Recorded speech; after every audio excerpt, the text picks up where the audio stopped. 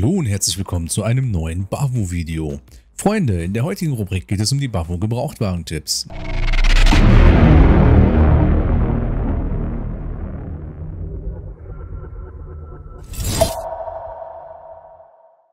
Das letzte Gebrauchtwagentipp-Video zum E46 ist nun circa zweieinhalb Jahre alt, das erste sogar dreieinhalb Jahre. Nun bringen wir ein frisches Remake mit aktualisierten Preisen und ein paar frischen Infos für das vierte Quartal 2020 heraus.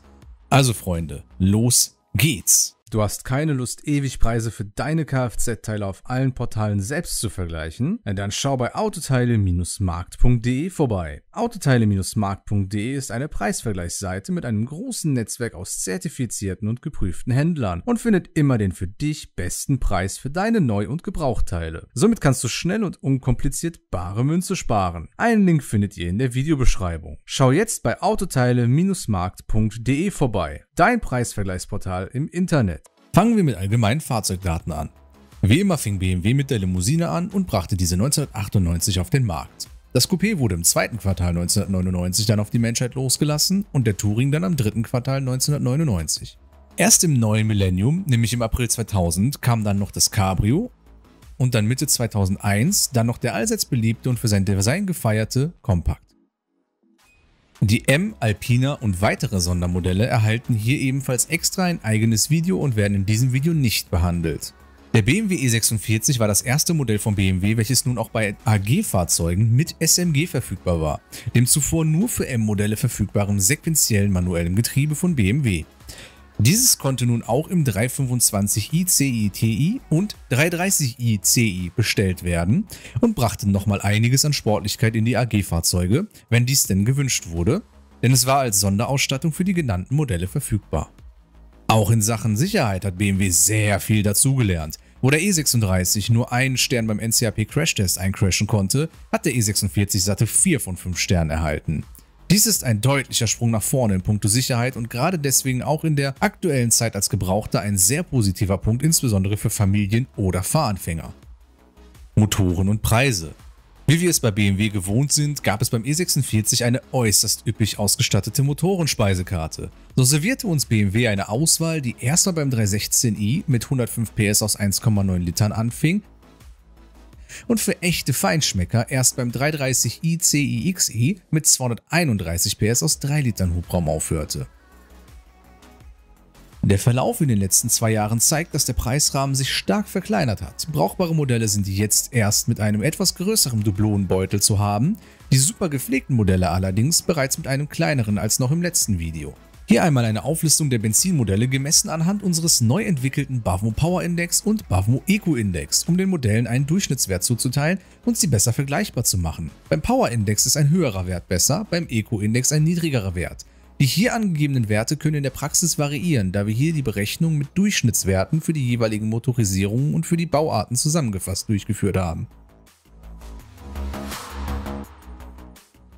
Einen entsprechenden Rechner zum Selbstnachrechnen werden wir zeitnah auf unserer Webseite einfügen. Die Dieselpalette war beim E46 noch recht überschaubar, ist allerdings deutlich interessanter geworden, da die Selbstzünder hier durch Direkteinspritzung technisch gesehen einen deutlichen Sprung nach vorne gemacht haben. Es fing beim 318D mit 2 Litern und 116 PS an und endete erst beim 330D mit 3 Litern und 204 PS. Hier ebenfalls nochmal die Tabelle mit dem Bavmo Power und Bavmo Eco Index zu den Dieselmodellen. Probleme der Baureihe Der E46 ist leider auch kein Fahrzeug ohne Sorgen. Es gibt einige Probleme, auf die man unbedingt achten muss, insbesondere weil einige davon leider überdurchschnittlich oft auftreten können. Man sollte also beim Kauf darauf achten, dass das Fahrzeug keinerlei Wartungsstau besitzt, sonst wird der vermeintlich günstige BMW der teuerste Wagen, den man sich je gekauft hat. Folgenden Dingen sollte man besondere Aufmerksamkeit zukommen lassen. Wenn das Fahrzeug ein Navigationssystem hat, testet dieses unbedingt. Es passiert nämlich oft, dass diese nach all den Jahren sehr langsam funktionieren, Pixelfehler vorhanden sind oder die zwischenzeitlich immer aus und wieder angehen. Ist dies der Fall, muss man diese leider ersetzen. Die Fensterheber sind typisch BMW der Ende 90er, Anfang 2000er leider ein großes Problem. Hier können die Halterklipse abbrechen, die Schienen verbiegen, sich durch schiefe Bewegung der Fenster oder die Motoren verweigern die Funktion. Das Airbag-System kann auch gerne Fehler aufweisen. Hier kann zum Beispiel die Sitzbelegungsmatte durch Draufknien durchbrechen und das System meldet einen Airbag-Fehler. Ebenfalls kann auch der Schleifring am Lenkrad einen Defekt aufweisen oder die Gurtstraffer, denn hier hat BMW leider nicht aufgebessert gegenüber dem Vorgänger. Bei manchen E46 musste auch technische Aktion seitens BMW durchgeführt werden, bei welcher Fahrer- und oder Beifahrer-Airbag ersetzt werden mussten, kostenlos, da eine Charge beim damaligen Zulieferer fehlerhaft war. Fahrzeuge mit Xenon sind besonders zu kontrollieren, denn wenn die Farbe der Leuchten in lila oder rosa ist, sind hier die Vorbrenner defekt, was bei der Bauweise der E46 Scheinwerfer sehr teuer werden könnte. Man sollte das Fahrzeug nach Rost absuchen. Besonders gefährdete Stellen sind die Radläufe, die Türunterkanten, der Batteriekasten und die Heckklappe. Die PDC-Sensoren gehen gerne mal kaputt. Dies ist zu bemerken durch einen dauerhaften Piepton bei aktivierten PDC. Achtet auf rasselnde oder klopfende bzw. klackernde Motorgeräusche.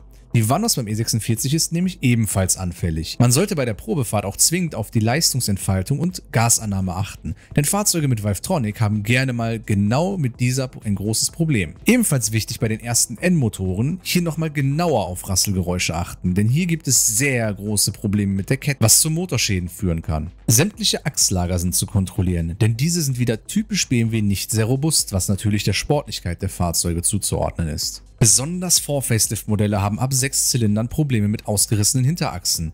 Dies ist bauseitig bedingt ein Fehler des Herstellers und wurde bei vielen Fahrzeugen bereits durch technische Aktion seitens BMW kostenlos behoben. Dennoch sollte man immer ein Auge darauf haben. Beim Touring sammelt sich gerne Wasser im Kofferraum, was die Elektronik dort befallen kann. Das Differential heult gerne, was auch auf einen baldigen Defekt hinweisen kann. Das Thermostat ist ein leidiges Problem, was aber zum Glück zügig behoben werden kann. Die Zylinderkopfdichtung ist auch ein leidiges Problem, besonders bei Fahrzeugen, die gerne mal kalt hochgedreht wurden. Das ist natürlich eine leider sehr lange mögliche Mängelliste. Deswegen gilt beim E46 besondere Aufmerksamkeit bei der Kontrolle. Wenn ihr selbst nicht so erfahren seid, Nehmt euch unbedingt jemanden mit, der euch bei der Kontrolle helfen kann oder fahrt zur Not zu einer Prüfstelle, die professionelle Gebrauchtwagenchecks durchführt. Ausstattung die Ausstattung beim E46 war recht üppig gesät, zumindest dann, wenn der Erstkäufer die entsprechenden Kreuze bei der Bestellung gemacht hat. Serienmäßig war beim E46 je nach Motorisierung nämlich leider nicht so viel drin.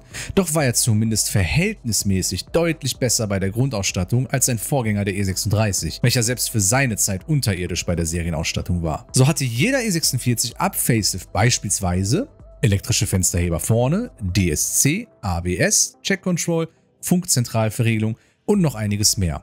Ab sechs gab es dann serienmäßig noch ein paar weitere Ausstattungsmerkmale. Den wahren Pluspunkt spielt BMW aber wie immer bei der Sonderausstattung aus, denn der E46 konnte für sein Baujahr überdurchschnittlich gut ausgestattet werden, wenn man dies beim Kauf damals gewünscht hat. Gerade Ausstattungsmerkmale, die selten sind, insbesondere wenn diese nur über den zusätzlichen Zubehörkatalog bestellbar waren, wie die Rückfahrkamera oder Original-PDC für vorne, treiben den Preis eines Gebrauchten gerne in die Höhe, selbst jetzt, wo es eigentlich viel bessere Zubehörlösungen von Drittanbietern gibt. Für diejenigen, die einen Lastenesel suchen, ist der Touring ebenfalls bestens geeignet. Dieser hat ein Kofferraumvolumen von satten 435 Litern und bei umgeklappter Rückbank ein Ladevolumen von 1345 Litern.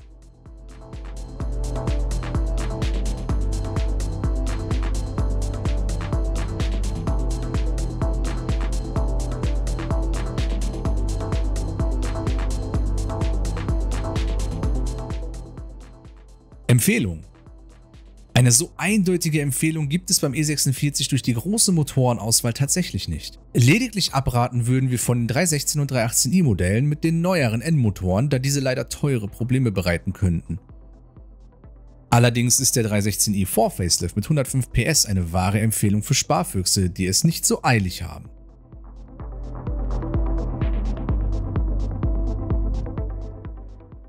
Sollte man aber auf kernigen Sechszylinder-Sound, Laufruhe und Spaß aus sein, kommt man nicht um einen 325 oder 330i herum. Insbesondere ab Facelift hat man hier einen noch recht modernen Wagen, der absolutes BMW-Fahrgefühl vermittelt.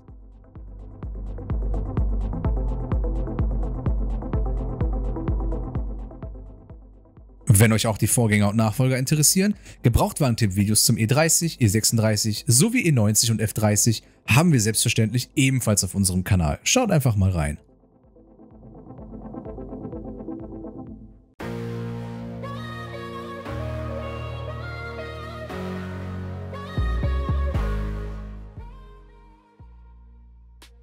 So Freunde, das war's mit dem Bavo-Video für heute. Wir hoffen, dass euch das Video gefallen hat und würden uns über einen Daumen hoch freuen. Wenn ihr den Kanal noch nicht abonniert habt, dann könnt ihr es jetzt kostenlos tun. Vergesst auch nicht die Glocke zu aktivieren, denn nur so bleibt ihr immer auf dem neuesten Stand. Also Freunde, vielen Dank fürs Zusehen, bis zum nächsten Mal, eure Bavmo Crew.